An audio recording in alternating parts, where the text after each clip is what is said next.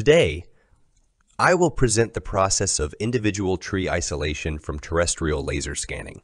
Through this lecture, we will explore the concept of tree individualization from point cloud data, discuss its importance, delve into the challenges associated with it, and discover how the Treeiso algorithm of CloudCompare works. Individual tree isolation involves isolating individual trees from point cloud data obtained through terrestrial laser scanning. Tree isolation, individualization, segmentation, and extraction mean the same things. This process plays a crucial role in various applications, such as accurate forest inventory, resource assessment, forest management decisions, insights into forest dynamics, and biodiversity patterns, estimation of forest carbon stocks, assessment of habitat quality, improved forest modeling, and simulation and advancement of remote sensing applications for large-scale assessments. Moving on, let's discuss the challenges related to tree isolation when using 3D point cloud data. One of the main challenges is occlusion, where overlapping foliage from surrounding trees obstructs the isolation of individual trees. The complex forest structure, with dense vegetation and diverse tree shapes, adds further complexity. Non-tree vegetation can also interfere with tree isolation. Variable tree shapes such as irregular or complex crown structures pose additional challenges.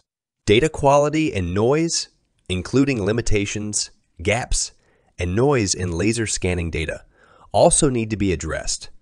Lastly, the processing of large and complex datasets adds complexity to the task of tree isolation. To overcome these challenges, the Treeiso algorithm of CloudCompare comes into play. This algorithm is based on a segmentation technique called cut pursuit graph. In this technique, a point cloud is represented as a graph, where nodes represent point attributes and edges represent connections between points. Therefore, isolating or segmenting point clouds can be visualized as a cut at the graph edges. The cut pursuit graph algorithm follows a multi-step process, starting with graph construction. The point cloud is transformed into a graph representation, where each point serves as a node and the connections between points are represented as edges in the graph. Next, costs or weights are assigned to the edges based on features such as point density, geometric properties, or contextual information. These costs capture the similarities or dissimilarities between adjacent points, aiding in the differentiation of individual trees. The algorithm then aims to find a cut in the graph that separates the points into individual tree components. By minimizing the total cost of the graph cut, the algorithm identifies the optimal boundaries for each tree.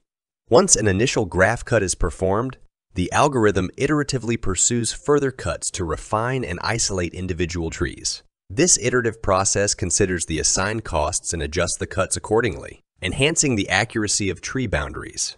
The resulting tree components obtained from the graph cut can be further refined and delineated using geometric and contextual information.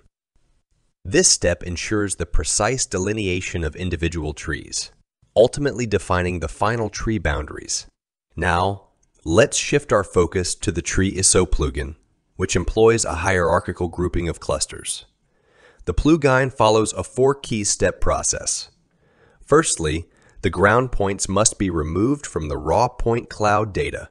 Next, the initial segmentation is performed using the 3D cut pursuit technique, resulting in small clusters forming meaningful patches of branches and crowns. In the third step, the 2D cut pursuit technique is applied for intermediate segmentation, refining the clustering process. Finally, the final tree segmentation is achieved providing comprehensive and accurate results. For more theoretical details, there is no paper better than the one below. But how the Treeiso works. The process initiates with an XYZ point cloud, and it follows a two-stage cut pursuit clustering approach. This method capitalizes on the understanding that trees exhibit two levels of scales.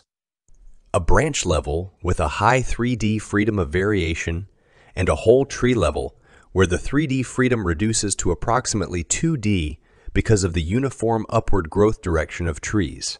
In the first stage, The tree point clouds are isolated into small clusters in 3D. Each cluster's XYZ coordinates are utilized as input, while the inverse of the nearest distances determines the edge weights for the cut pursuit clustering algorithm. This initial segmentation yields meaningful patches of branches and crowns, setting the foundation for further clustering at the individual tree level. Next, the centroids of each cluster are extracted and the 2D XY coordinates of these centroids are subjected to the cut pursuit algorithm. This second stage segmentation utilizes the connectivity between clusters to merge them, ensuring a computationally efficient process. By applying certain thresholds and discarding long edges, the algorithm progressively refines the segmentation. To address the over-segmentation caused by the second stage segmentation, a global connection step is introduced. This step employs global rules to connect larger clusters known as segments, which are close to individual trees but may be horizontally separate due to gaps or irregular edges. By considering information from the nearest neighbors, including elevation difference to length ratios and various measures of proximity, the algorithm merges non-stem segments to their nearest stems. This merging process continues until no non-stem segments remain, resulting in an accurate and comprehensive individual tree segmentation. In conclusion, the Treeiso algorithm, based on the cut pursuit graph technique, is an invaluable tool for isolating individual trees from terrestrial laser scanning point cloud data. Its multi-step process ensures accurate tree boundaries. Now, let's do a demonstration of Treeiso in action using CloudCompare. In the resources section of your course, you can find the data that I will be using for this demo. I will showcase two case studies, one involving terrestrial laser data, which is relatively straightforward, and another involving aerial lidar data, which presents a more complex scenario. Firstly, ensure that you have the latest version of CloudCompare, specifically the June 2023 release. You can download it from the official CloudCompare website and the installation process is straightforward, similar to previous installations.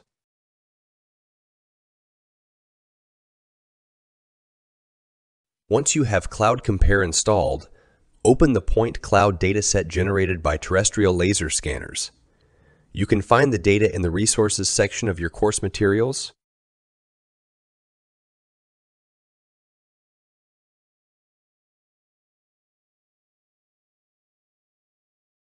This particular point cloud contains 14 trees, and our objective is to verify if we can accurately isolate all 14 trees using the Treeiso plugin. To access the tool, go to the plugin menu and select Treeiso. This will open a window where you will also find the original research paper on Treeiso. If you're interested in the underlying theory, I recommend giving it a read. Now let's proceed with the segmentation process. The Treeiso algorithm employs three levels of segmentation. Initial segmentation, intermediate segmentation. For this initial test, it is recommended to keep the default parameters as they have been optimized for this specific point cloud dataset.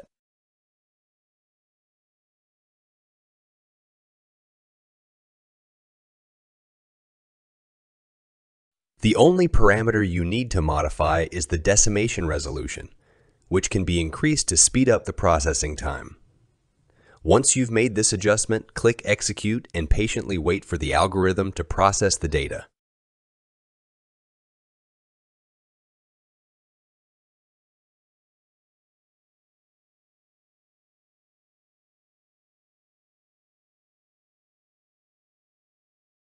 Repeat the same steps for the second and third segmentation steps.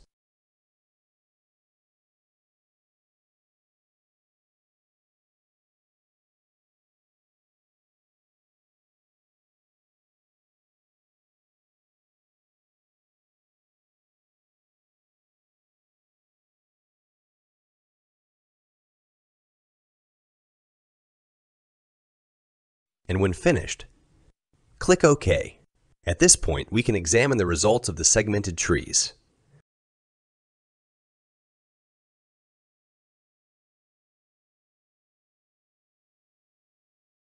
If the rendering appears unclear, you can activate the Eye-Dome lighting effect for improved visualization.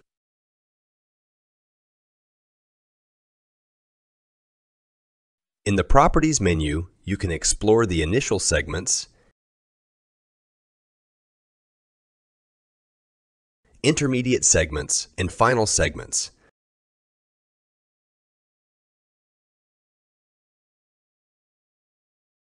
which represent the isolated trees.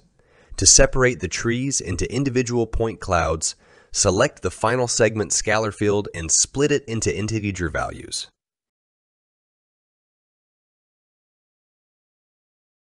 Upon performing these steps, we initially obtained 12 trees instead of the expected 14.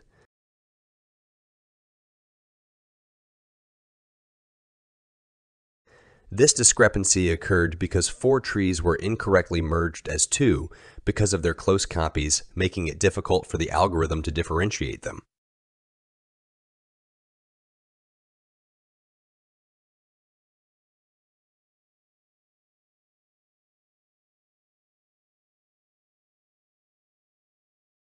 To address this, we will rerun the process with an adjustment to the regularization strength in the second step. This modification will prevent the merging of these smaller segments.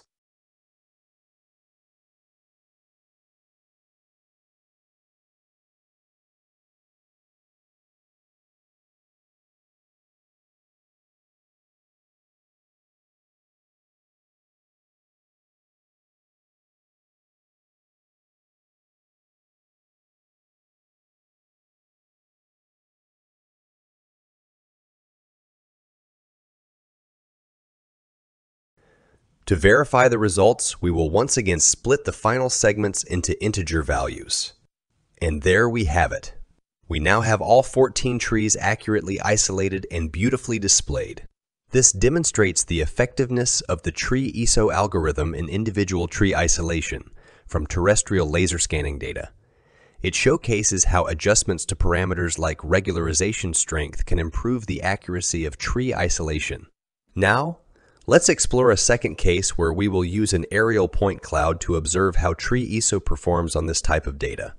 Although Treeiso is primarily designed for terrestrial laser scanning, we will assess its performance on aerial point clouds since they are more commonly available. The point cloud we will be working with covers a forest area in the mountains of the United States of America.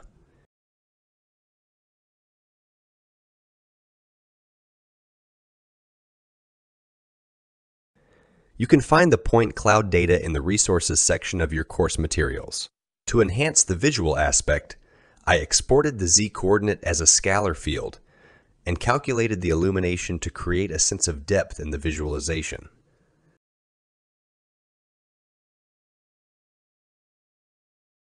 However, due to the large size of the point cloud, I will crop a smaller area for processing purposes.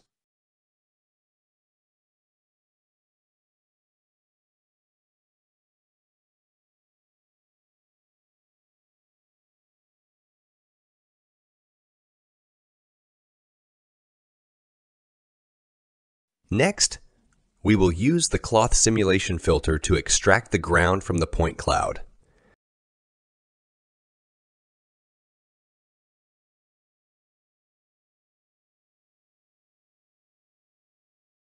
It is recommended to increase the classification threshold to ensure that all ground and short vegetation are effectively eliminated.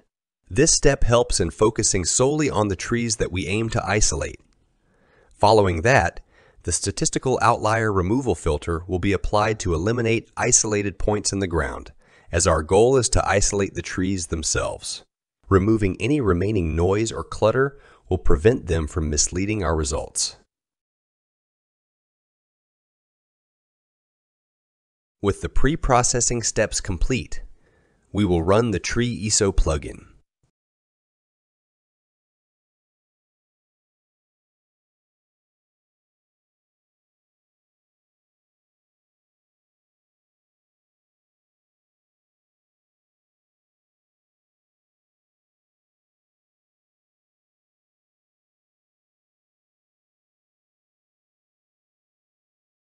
Adjustments will be made to the decimation resolution and regularization strength in both the initial and intermediate segmentation steps.